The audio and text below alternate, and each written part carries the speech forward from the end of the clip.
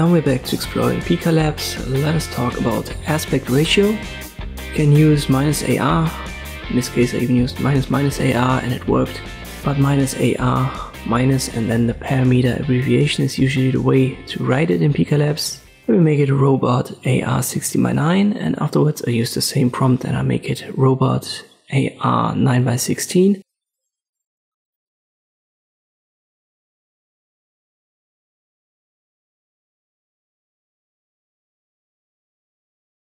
and this is the way you can adjust it.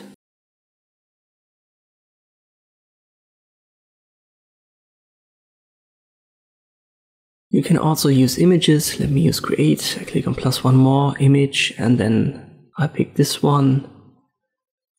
By default, Pika Labs, the bot uses the size of the image to generate the video if you don't add an aspect ratio by hand manually. Let me change this to 9 by 16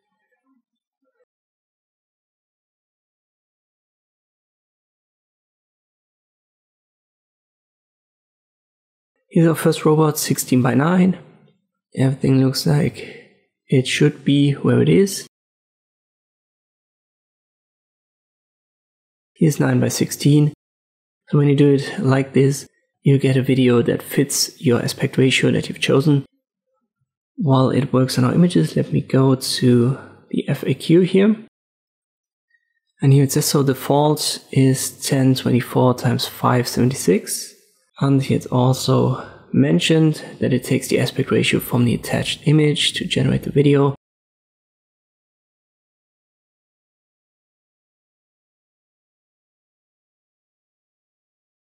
And we have that now here in our example. The image was 16 by 9, so the video looks fine with it.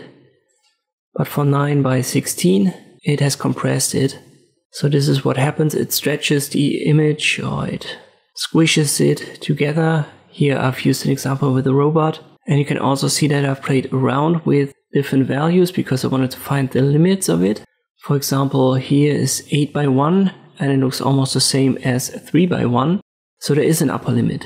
I haven't yet found an official value given by Pika Labs, but if I use my experimentation, let me for example recycle 1 by 4 and I remix it with 1 by 3 and then I download it and I show you the size of it, you can see that we have 512 times 1280 and in the other direction 1280 times 512. So this seems to be the limit in both directions and if you calculate that, if you break that down, it's 5 by 2 or 2 by 5. So every time you expand the aspect ratio, let's say to 6 by 2, which would be 3 by 1, it gives you 5 by 2 anyway. And if you want to stretch it to 2 times 6, which would be 1 by 3, you'll get 2 times 5 anyway. As I've said, this is just my experimentation and these are just the current values.